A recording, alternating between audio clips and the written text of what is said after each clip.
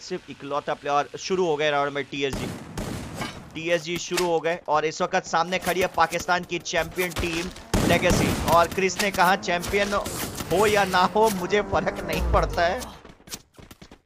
और रुक भाई रिसेंटली टूर्नामेंट देख जहाँ जहाँ ऐसा लगता था ना Revive हो रहे हैं भाई।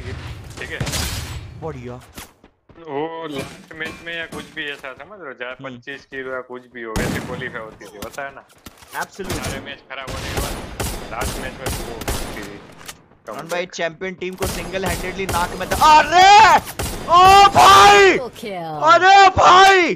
क्रिस आए हैं और यहाँ पे अब चैलेंज इनके लिए नहीं चैलेंज आप लोगों के लिए है। जी हाँ गाइस टीएसजीओपी बोलते और विंटेज अंदाज में सबकी खोपड़ी खोलते। क्रिस 21 आया और छाया।